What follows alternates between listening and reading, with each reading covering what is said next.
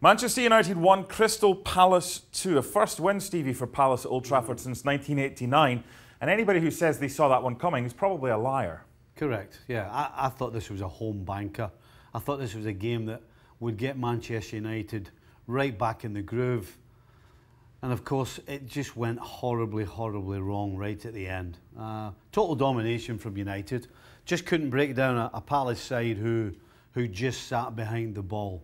Uh, United, disappointingly, never really created clear-cut chances. Uh, the only argument United would have was, was a couple of penalty claims, one of which I thought was absolutely no question a penalty on Martial. So that would be the second one that wasn't given. You thought Correct. should have been. What about the first one that was given? There wasn't any doubt, was there? McTominay was fouled.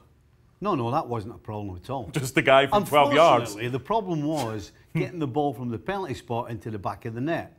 And, and everything was going great. You've got Pogba running for the ball to give it to Rashford. you know, a little bit of humour thrown in, well done. But then Rashford failed the test. First time he's ever missed a penalty. Yeah, hit the post, came out, and then all of a sudden it's like, oh dear. But then once they get the equaliser from uh, James, lovely goal, cuts in on the right, just picks the top corner out and delivers.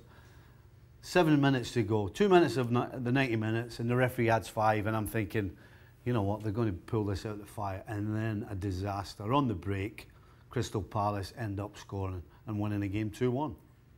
You look at that game, and, and probably if you're going to be hypercritical of United, it, it's something you just mentioned. It's all the ball that they had without really creating enough. How do they rectify this going forward? Because they were they were very good. They just couldn't put the ball in the back of the net. Well, the one thing they can do is move the ball quicker. Yep. Uh, at the end of the day, it's difficult when you've got so many bodies in front of the goal. But in order to break it down, eventually, you have to do things with a with a purpose and a pace. And everything that they did was kind of pedestrian. You played in a lot of games for Liverpool where you had so much of the ball. From time to time, you're going to get this type of game, aren't you? That you kind of, how the heck did we lose that when you did, despite having so much of the ball? It's about not panicking going forward, isn't it? Well, it's also about there's a reason why people get paid a lot of money, and that's because they have a talent. And sometimes it can't be done in the way we would like. Sometimes it can't be done with intricate, good movement, good passing, and good finishing. Sometimes it comes down to a bit of talent.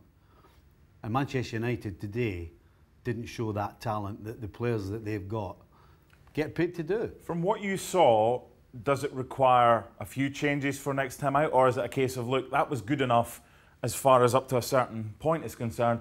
We'll just play the same team, maybe with one or two changes next time. They cannot. I don't think they can put a better side on the on the field right now. To be honest, the transfer window's done. They have to figure a way out of either being able to break teams down with good football, or they have to make sure that the talented players turn up and produce.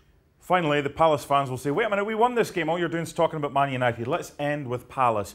They haven't been good first two games. Mm.